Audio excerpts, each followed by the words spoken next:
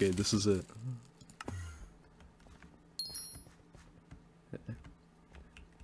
Silverfish, uh, Comet 50.